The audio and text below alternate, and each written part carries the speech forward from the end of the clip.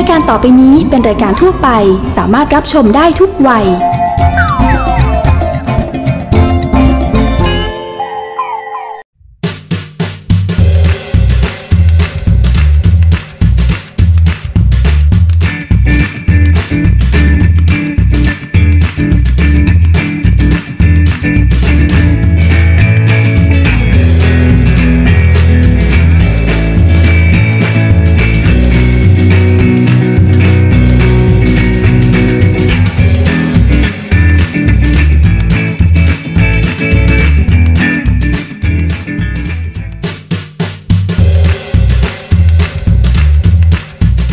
สนับสนุนโดยผลิตภัณฑ์ผลไม้ Fruit Blend และน้ำเชื่อมแต่งกลิ่นตรา Nature Taste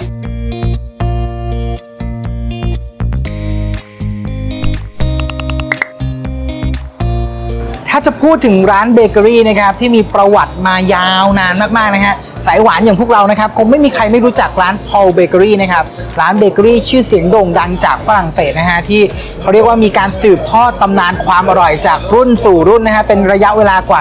120 ปีแล้วนะฮะเอาเป็นว่าเราเข้าไปชิมข้างในกันดีกว่าครับไป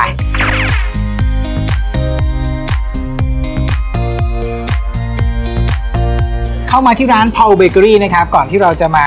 อิ่มเอมนะฮะกับขนมอร่อยๆนะฮะจุดเด่นของที่นี่นะฮะขนมส่วนใหญ่ของเขาเนี่ยจะมีความเป็นรสชาติเค็มนิดๆติดปลายนะฮะเพราะว่าเขาเนี่ยมีการผสมในส่วนผสมที่เป็นแป้งนะฮะเนยสดนะครับไข่ หรือว่าจะเป็นเกลือนิดหนึ่ง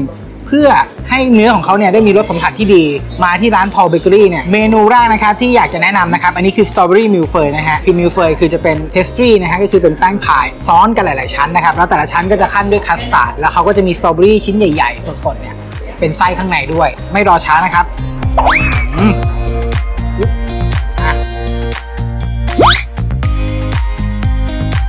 ต้องบอกว่าคัสตาร์ดนะฮะดีมากๆ เนื้อเนียนหอมอร่อย แต่ที่ชอบจริงๆนะฮะความเป็นแป้งบางๆของแป้งพายเนี่ยครับแต่ละชั้นเนี่ยมันจะมีแบบเป็นชั้นๆอยู่ข้างในอีกอะแล้วมันบางแล้วก็กรอบ พอเราทานเข้าไปเนี่ยแบบโอ้โหผิวสัมผัสมันดีมากๆ แล้วมันเข้ากันดีกับคัสตาร์ดมาก แล้วเมื่อกี้เคี้ยวปุ๊บก็จะเจอสตรอเบอรี่สดด้วย มันก็จะมีแบบความเปรี้ยวนิดๆแบบหวานฉ่ำๆเป็นเมนูที่อร่อยจริงๆฮะเมนูต่อมานะฮะ อันนี้ใครเป็นแบบว่า chocolate lover ห้ามพลาดเลย เพราะว่านี่คือเมนูช็อกโกแลต Black Forest นะครับ เป็นช็อกโกแลตเต็มๆจริงๆนะฮะ เป็นเค้กช็อกโกแลต แล้วก็จะเป็นมูสช็อกโกแลตคั่นกลาง แล้วด้านบนเนี่ยก็จะเป็นตัวช็อกโกแลตขูด ปกติแล้วเค้ก Black Forest เนี่ยก็คือจะเป็นเค้กที่มีกลิ่นของเชอร์รี่ ดังนั้นเนี่ยเขาก็จะมีตัวเชอร์รี่เนี่ยท็อปปิ้งอยู่ข้างบน แล้วก็แน่นอนเลยตัวมูสช็อกโกแลตของเขาก็จะมีตัวเชอร์รี่เข้าไปด้วย ต้องบอกว่ามันเป็นอะไรที่เข้ากันอยู่แล้วนะฮะ ระหว่างช็อกโกแลตกับเชอร์รี่ แต่ว่าที่นี่เนี่ยเนื้อสัมผัสเนียนมากๆ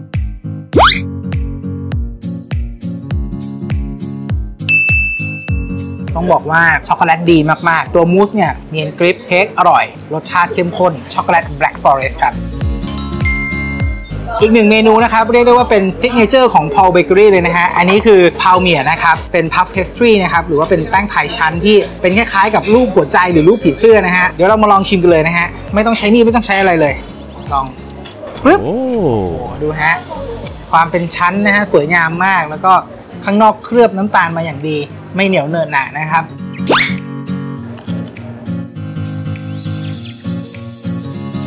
คือเรากัดเข้าไปเนี่ยเราเคี้ยวปุ๊บเนี่ยเราจะรู้เลยว่ามันหอมความเป็น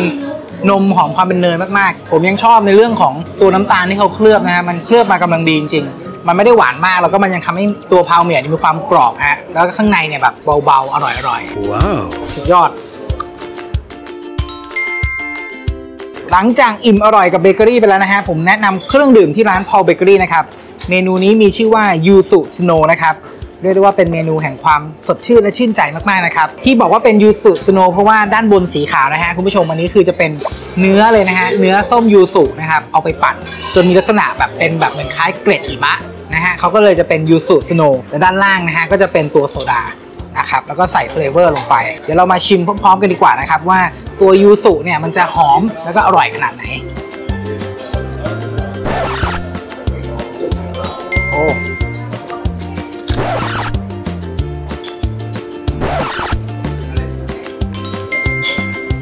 เรียกได้ว่าสดชื่นและชื่นใจจริงๆนะครับด้วยความที่ยูสุเนี่ยมันคือส้มที่มีกลิ่นที่เป็นเอกลักษณ์เฉพาะตัวมาก ดังนั้นเนี่ยพอมาอยู่ในเครื่องดื่มแบบนี้แล้วเอาเนื้อมาปั่นด้วย เรียกได้ว่ากลิ่นชัดเจนแล้วก็ดีมากๆสำหรับร้าน Paul Thailand นะครับที่เราพามาในวันนี้นะครับตั้งอยู่ที่ชั้นหนึ่งของศูนย์การค้า Emporium ครับผมแชร์พิกัดให้แล้วนะครับ สายหวานต้องไม่พลาดแวะมาเช็คอินกันนะครับ เดี๋ยวเราไปดูพร้อม ๆ กันเลยนะครับ ว่าเมนูที่อาจารย์ยิ่งศักดิ์เอามาฝากวันนี้นะฮะจะเป็นเมนูอะไร ช่วงอร่อยอย่างมืออาชีพ สนับสนุนโดยนกเหยี่ยว Falcon คุณผู้ชมครับเมนู Coffee Toffee Mix Nut Cake ของอาจารย์ยิ่งศักดิ์วันนี้อร่อยนะคุณผู้ชมครับ เพราะว่านอกจากจะรวมบรรดาถั่วสารพัดทำให้เกิดความมันแล้วก็อร่อยแล้ว อาจารย์ยิ่งศักดิ์ยังใส่ครีมเทียมข้นหวานตรานกเหยี่ยว Falcon แล้วก็นมข้นจืดตรานกเหยี่ยว Falcon ด้วยนะครับ จะทำให้หน้าขนมของอาจารย์มีความอร่อยยิ่งขึ้น วิธีทำ Coffee Cake เริ่มจากละลายกาแฟชนิดผงกับน้ำเย็นเข้าด้วยกันเตรียมไว้ ผสมแป้งสาลีทำเค้กแป้งข้าวโพดผงฟูเกลือป่น และน้ำตาลทรายเข้าด้วยกันใส่ไข่ไก่แช่เย็น และสารเสริมสำหรับทำเค้กสปัน ตีด้วยหัวตีรูปตะก้อ ด้วยความเร็วสูงสุดนานประมาณ 2 นาที ใส่กาแฟที่ละลายเตรียมไว้ และกลิ่นกาแฟชนิดน้ำ ตีต่อด้วยความเร็วสูงสุดประมาณ 3 นาที และลดความเร็วลงต่ำที่ 2 นาที เติมเนยสดชนิดเค็มละลาย และนมข้นจืดตรานกเหี่ยวฟอลคอน ตีผสมจนเข้ากันดี ปิดเครื่องนะครับ เทส่วนผสมของเค้กลงในพิมพ์ที่เราเตรียมไว้ เกลี่ยหน้าให้เรียบนำเข้าอบที่อุณหภูมิ 350 องศาฟาเรนไฮต์หรือ 175 องศาเซลเซียส นานประมาณ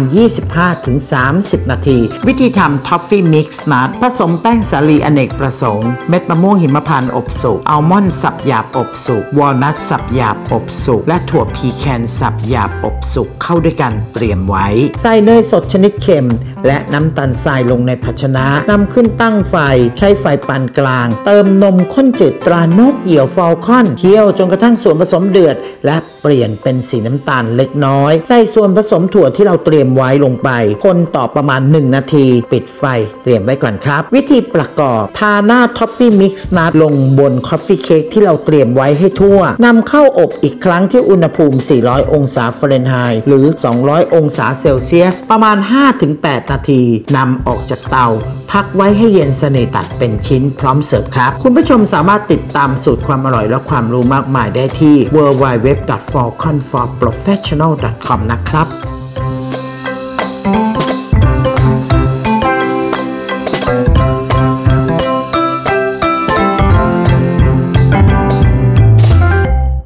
และสำหรับใครก็ตามที่หลงไหลแล้วก็ชอบกลิ่นหอมของมะพร้าวแล้วก็ไม่น่าพลาดครับ ช่วงหน้าของอาจารย์ยิ่งศักดิ์นะครับ เป็นเค้กมะพร้าวกะทิสดครับ รับรองอร่อยครับ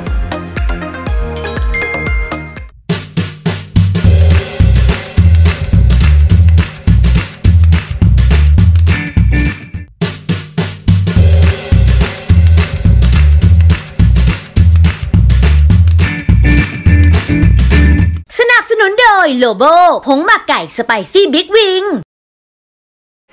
คุณผู้ชมครับ วันนี้อาจารย์ยิ่งศักดิ์มีเมนูเค้กแบบเอเชียมาฝากคุณผู้ชมนะครับ นั่นก็คือเค้กมะพร้าวกะทิสด และความอร่อยของอาจารย์ยิ่งศักดิ์ก็คือ ตัวหน้าฟัชเนี่ยแหละครับที่ราดลงไปเป็นกะทิจริง ๆ และยังมีเนื้อมะพร้าวอ่อนโรยด้วย รับรองคุณผู้ชมรับประทานเสร็จแล้วจะติดใจมากครับ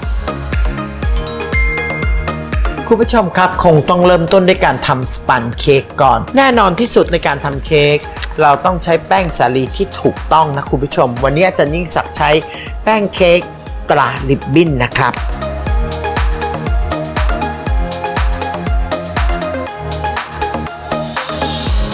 พอใส่แป้งสาลีทำเค้กเสร็จแล้วเราก็ใส่น้ำตาลทรายลงไปนะครับ ให้มันเนื้อละเอียดนิดนึงเหนียวเหนียวๆหน่อย เราก็ใส่แป้งข้าวโพดครับ อย่าลืมขนมเค้กต้องขึ้นฟู เราก็ใส่ผงฟูลงไปด้วยหน่อยหนึ่งแล้วก็ที่สำคัญที่สุดเราต้องใส่เกลือป่นด้วยนะครับ จากนั้นเข้าส่วนผสมของของแห้งทั้งหมดให้เข้ากัน วิธีการแบบนี้ทำให้คุณผู้ชมไม่มีความจำเป็นต้องไปยืนร่อนแป้งให้มันฟุ้งเต็มครัวอีกต่อไป เพราะน้ำตาลที่เราใส่ลงไปจะทำให้แป้งสาลีทำเค้กของเราไม่เกาะตัวกันเป็นก้อนคุณผู้ชมครับผสมผสมเข้ากันเสร็จเรียบร้อยปุ๊บนะแหวกตรงกลางสักนิดหนึ่งให้พอเป็นหลุมๆแบบนี้คุณผู้ชมครับ วันนี้ใช้ไข่ไก่สูตรธรรมชาติตราดรเฮน แช่เย็นๆเอาไว้นะคุณผู้ชมเทลงไปตรงกลางแบบนี้เลย และการทำเค้กปัจจุบันก็ใส่เค้ก emulsifier ลงไปด้วย มันจะทำให้ขึ้นฟูเร็ว ตีผสมง่ายขึ้นนะคุณผู้ชม ใส่น้ำใบเตยลงไปครับ กลิ่นวานิลาลงไปนิดนึง และเพื่อให้เป็นเค้กกะทิสดจริง ๆ คุณผู้ชมครับ วันนี้อาจารย์ยิ่งศักดิ์เลือกใช้อัมพวากะทิแท้ร้อยเปอร์เซ็นต์คั้นทันทีตั้งแต่กระทะเปลือกครับ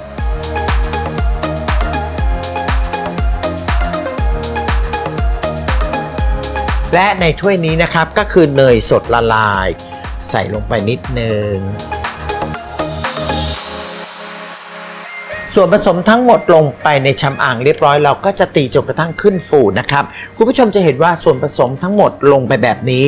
เราเรียกว่าวิธีการทำเค้กแบบทำธุรกิจคือทั้งหมดก็เทลงไป แล้วก็ใส่เครื่องเลย เพราะฉะนั้นวันนี้คุณผู้ชมจะได้สูตรเค้กแบบที่คุณผู้ชมไปซื้อเขากินเป๊ะเลยนะคุณผู้ชม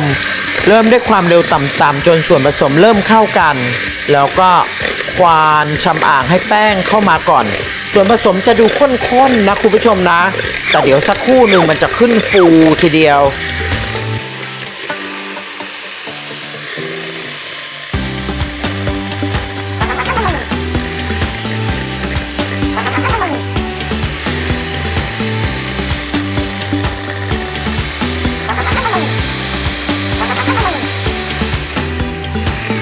เอาละส่วนผสมของเราใช้ได้แล้วคุณผู้ชมครับสำหรับพิมพ์ของขนมวันนี้เตรียมเป็นพิมพ์ขนาดนี้คุณผู้ชมเส้นผ่าศูนย์กลางประมาณ 7 นิ้วไม่เกิน 8 นิ้วนะทาเนยขาวแล้วก็ปูกระดาษที่ก้นพิมพ์ไว้นะครับ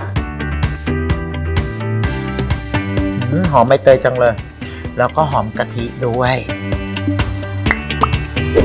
ต้องเรียนคุณผู้ชมอย่างนี้นะครับว่าหน้าฟัชกะทิเนี่ย ตั้งใจทำเพื่อคุณผู้ชมจริง ๆ ถ้าคุณผู้ชมได้ตำรับนี้ไปรับรองได้เลยคุณผู้ชมจะมีสูตรเค้กอร่อยอร่อยประจำชีวิตทันทีเลย อาจารย์นิ่งศักดิ์จะเริ่มต้นด้วยการใส่กะทิก่อนคุณผู้ชมโอ้ยขวดเดิมอัมพวากะทิแท้ร้อยเปอร์เซ็นต์คั้นทันทีตั้งแต่กระทาะเปลือกขวดนี้แหละคุณผู้ชม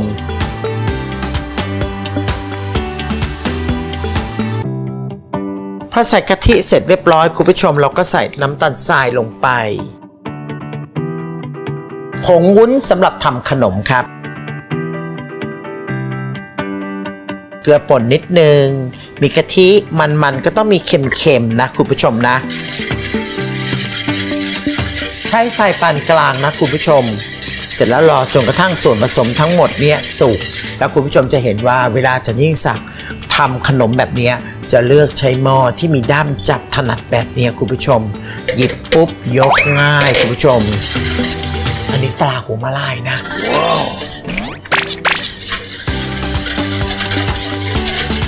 คุณผู้ชมครับส่วนผสมของเราเริ่มจะใกล้เดือดแล้ว นี่ก็คือเนยสดนะคุณผู้ชมใส่ลงไปนิดหนึ่งเพื่อให้มีกลิ่นหอมแป้งข้าวโพดละลายน้ำเตรียมไว้คุณผู้ชม คนๆซะ เสร็จแล้วก็จัดการเทลงไปเลย แล้วก็จัดการคนไวๆหน่อยนะคุณผู้ชมนะ ส่วนผสมของแป้งข้าวโพดจะได้กระจายทั่ว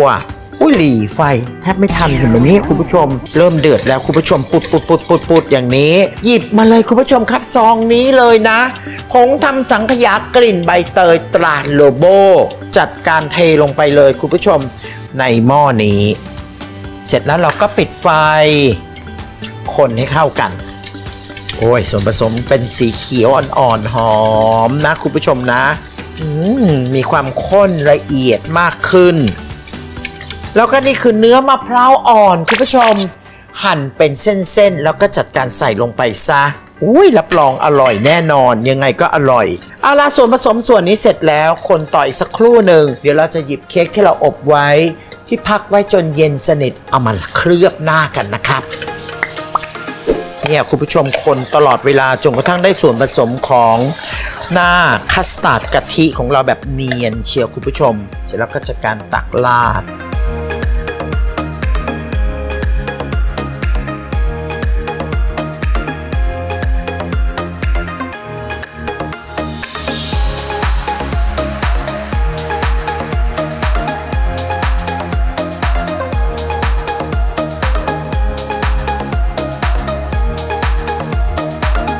ร็จแล้วก็จัดการช้อนเค้กอุ้ยนุ่มน่ารับประทานมากคุณผู้ชม homemade มากคุณผู้ชม เค้กสไตล์แบบนี้ วางเชอร์รี่มีก้านสักหนึ่งลูก แล้วก็อันนี้คุณผู้ชมใส่ใบปึ๊บโอ้ยน่าเอ็นดูน่าเอ็นดู เป็นเค้กแบบบ้านๆครับ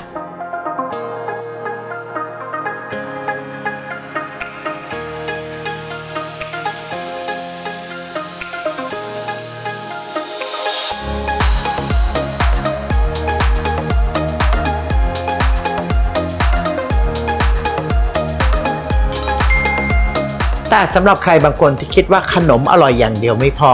ต้องสวยแล้วก็ถ่ายรูปอวดโซเชียลได้แล้วก็ติดตามช่วงหน้าครับ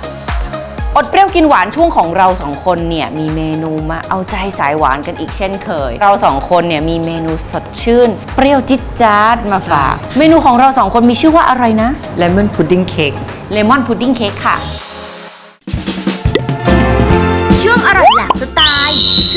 นโดยผลิตภัณฑ์ตรา Nature Taste วันนี้เรามีเมนูสมูทตี้หอมหวานเนียนนุ่ม กับเมนูวานิลาคาราเมลโยเกิร์ตสมูทตี้มาฝากกันค่ะ วิธีทำวานิลาคาราเมลโยเกิร์ตสมูทตี้ใส่บลูเบอร์รี่กวนลงในแก้วสำหรับเสิร์ฟ ใส่โยเกิร์ตรสธรรมชาติแช่แข็ง กับน้ำเชื่อมกลิ่นวานิลาตรา Nature Taste ลงในโถปั่นน้ำผลไม้ จะช่วยเพิ่มกลิ่นหอมอ่อนๆของวานิลา และรสชาติหวานละมุนให้กับเมนูของเรา จนส่วนผสมเนียนละเอียดเทลงในแก้วเสิร์ฟที่มีบลูเบอร์รี่กวนรองไว้แล้ว ประมาณครึ่งแก้ว ใส่โยเกิร์ตรสธรรมชาติแช่แข็งกับน้ำเชื่อมกลิ่นคาราเมลตรา Nature Taste ลงในโถปั่นน้ำผลไม้ปั่นจนส่วนผสมเนียนละเอียดเทลงในแก้วเสิร์ฟที่มีสมูทตี้วานิลารองไว้แล้วจนเต็ม ตกแต่งด้วยบลูเบอร์รี่สดและช่อสะระแหน่พร้อมเสิร์ฟค่ะ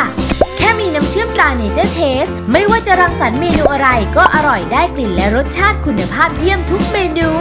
น้ำเชื่อมตรา Nature Taste ยังมีให้เลือกหลากหลายรสชาติ สามารถสั่งซื้อออนไลน์ได้แล้ววันนี้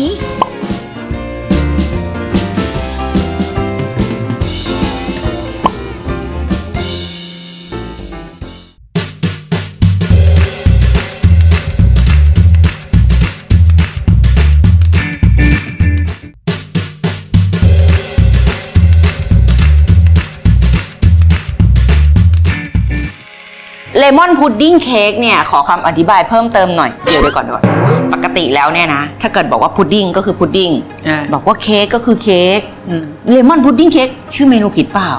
ไม่ผิดแต่จริงๆอะอ่าเค้กก้อนนี้เขาจะแปลกมาก สมมุติเราใส่น้ำเยอะเขาจะออกมาเป็นพุดดิ้งสมมุติเราใส่น้ำน้อยเขาจะเป็นเค้กจะ moist วันนี้ก็เลยอาจารย์เมย์จะใส่น้ำกลางๆนะคะ อ่าใช่ ก็เลยจะกลายเป็นเลมอนพุดดิ้งเค้กเค้ก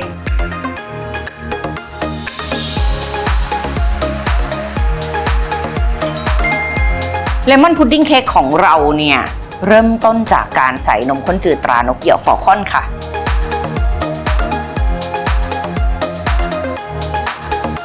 นมข้นจืดของเรานะคะ จะทำให้เลมอนพุดดิ้งเค้กของเราเนี่ย หอมมัน ส่วนเลมอนพุดดิ้งเค้กของเราเนี่ยนะคะ จะหวานมันจากครีมเทียมข้นหวานตรานกเหยี่ยว Falcon ค่ะ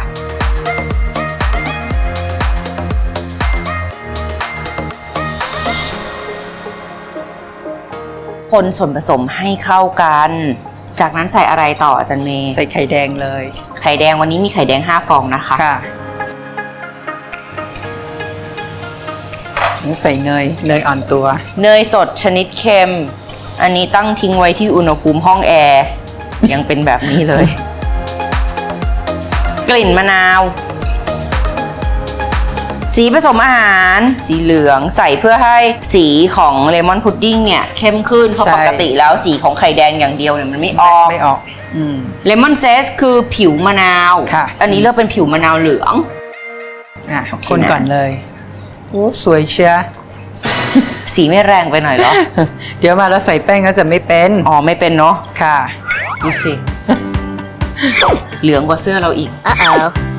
น้ำมะนาวนะคะค่ะ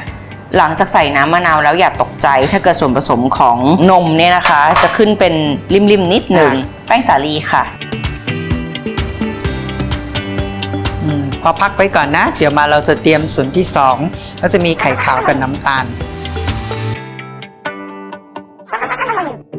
ส่วนผสมของไข่แดงกับแป้งสาลีพักไว้ จะเห็นว่าเขาข้นขึ้นเรื่อยๆ แบบนี้ใช่ไข่ขาวใส่เข้าไปใส่มีน้ำทตาลริคเข้าไป ในการทำให้ส่วนผสมของเมอแรงขึ้นฟูไหมคะ ก็ไข่ขาวต้องห้องอุณหภูมิ ไข่ขาวอุณหภูมิห้อง อ่า แล้วก็น้ำตาลทรายใช่ อุณหภูมิห้องเหมือนกันไหมใช่ค่ะ น้ำตาลทรายใส่เลยนะ ใส่แล้วค่ะ โอเค ตีถึงเขาตั้งยอด สปีดสูงสุดเลย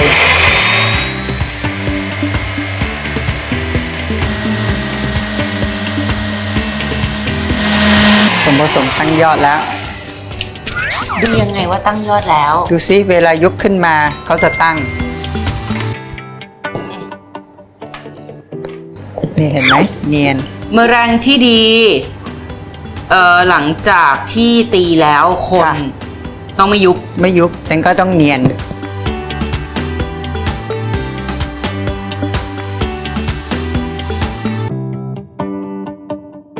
ก็ล่อมแล้วค่ะ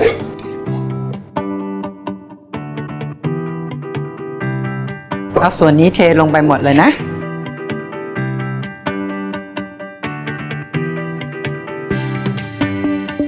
มันน่ากินมากเลยอะวันนี้เราใส่ลงไปที่รามินคินนะ ใส่เยอะไหมมามิก็ใส่กับเต็มอะค่ะ พิมพ์ของเราจะทาเนยเอาไว้ โอเคโอเคตักใส่พิมพ์ นานาจะตักนะคะ ใส่พิมพ์ ส่วนมามีเนี่ยนะคะ จะเกลี่ยให้ส่วนผสมเนี่ยเรียบเสมอกัน เวลาอบออกมาเสร็จแล้วเขาจะได้ฟูขึ้นมาเป็นทรง เขาจะเป็นเค้กอะค่ะ อันนี้เดี๋ยวมาเราจะรอน้ำนะ อย่างที่หมามีบอกไปตอนต้นใช่ รายการนะ ใส่น้ำเยอะเป็นพุดดิ้งเยอะ ค่ะ ใส่น้ำน้อยเป็นเค้ก ออกมาเป็นเค้กนุ่มๆอร่อยเลย อันนี้เดี๋ยวมาเราจะรอน้ำนะ ได้ ใส่น้ำ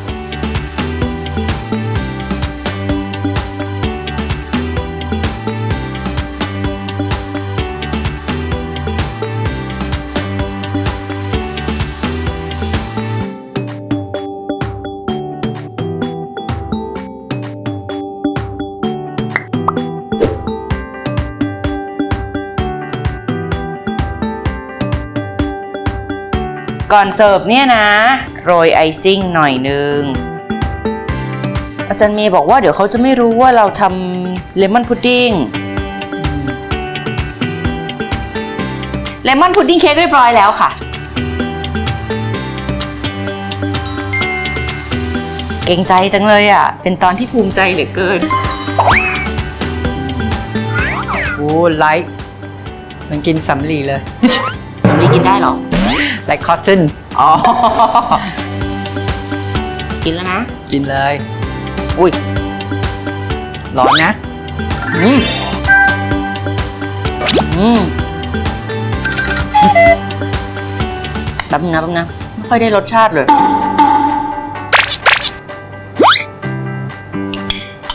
สองคำครึ่งถ้วย ขนมตัวนี้ต้องทานตอนอุ่นใช่ ๆ เราชอบมากเพราะว่าข้อที่หนึ่งเขานุ่มค่ะ ข้อที่สองเวลาทานเนี่ยได้เคี้ยวตัวผิวมะนาวด้วย มันทำให้เคี้ยวเสร็จแล้วกลิ่นน้ำมันจากผิวมะนาวมันออกมันมันเลยสดชื่นแล้วก็อร่อยมาก บอกเลยว่าสูตรนี้เนี่ยทำรับประทานก็อร่อยทำขายก็อร่อยแน่นอนจ้ะ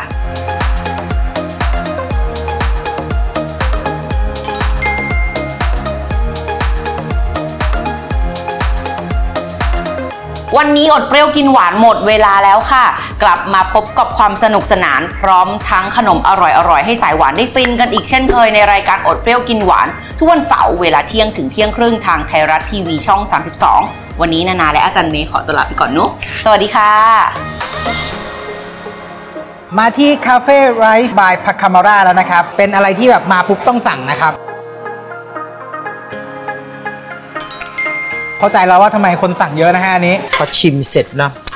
ร้องอุยตายไว้กรี๊ดกันหมดทั้งเมืองนะคุณผู้ชม เนื้อสวย มามีก็สวย โอ้ thank you